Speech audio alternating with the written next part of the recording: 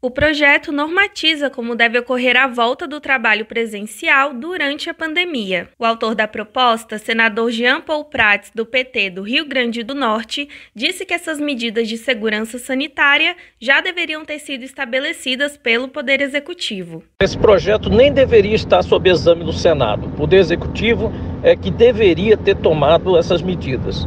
Mas esse governo, como é desorganizado e incapaz na gestão do país, nos força a apresentar essa proposta que cobre essa lacuna. Para que aconteça o retorno do expediente presencial, o senador propõe a realização de audiências prévias com as autoridades sanitárias, o Ministério Público do Trabalho, os patrões e os trabalhadores. A ideia é que patrões e trabalhadores possam ter regras que protejam os dois lados no que diz respeito à proteção à saúde do trabalhador e ao controle da pandemia.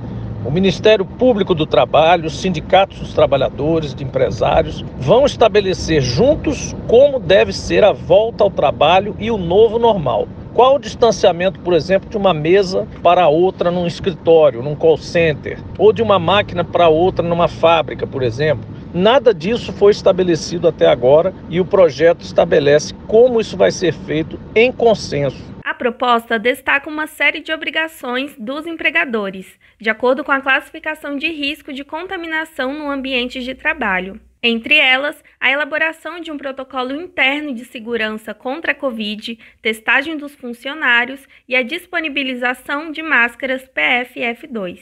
Uma multa de no mínimo 500 reais pode ser aplicada caso a empresa permita um funcionário sintomático no local de trabalho ou o protocolo interno não seja elaborado até 30 dias após a publicação da lei. Para a continuidade do home office, a empresa deve garantir, por exemplo, infraestrutura, materiais e equipamentos para a equipe. A proposta aguarda análise no Senado, sob supervisão de Maurício de Sante, da Rádio Senado, Marcela Rodrigues.